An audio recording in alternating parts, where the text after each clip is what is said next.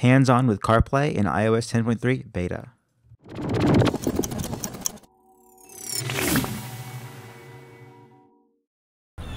This is CarPlay with iOS 10.3 beta, and so you've got a new area over here with three app icons.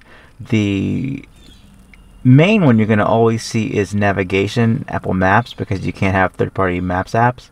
Um, but you will see these two apps change based on what apps you've been using. So it isn't just the three most recently used apps, it's navigation, communication, and entertainment. So, for example, Apple Music or podcast will appear there. You can also switch between messages. Would you like to hear your unread message? And phone. With whom would you like to speak? App.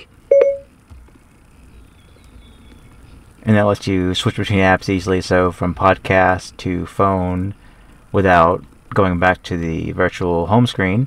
And then you can do the same thing with messages, and it behaves differently. So if you tap messages, would you like me to read your messages or compose a new one?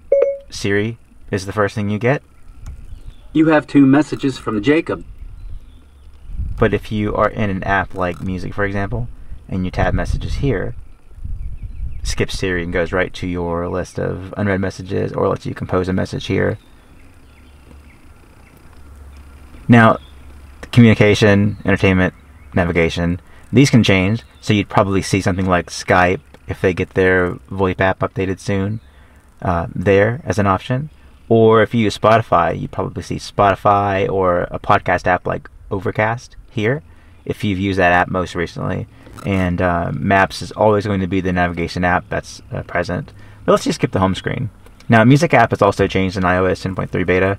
You can tap on the album to go to the whole album. So if you're on a playlist,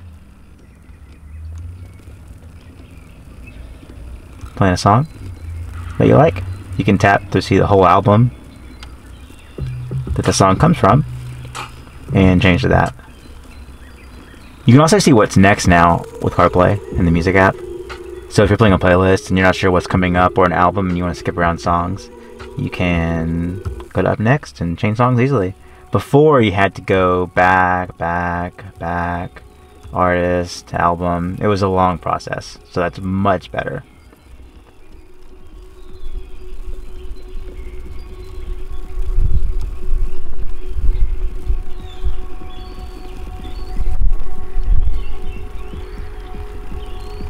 Yeah, that's CarPlay and iOS 10.3 beta.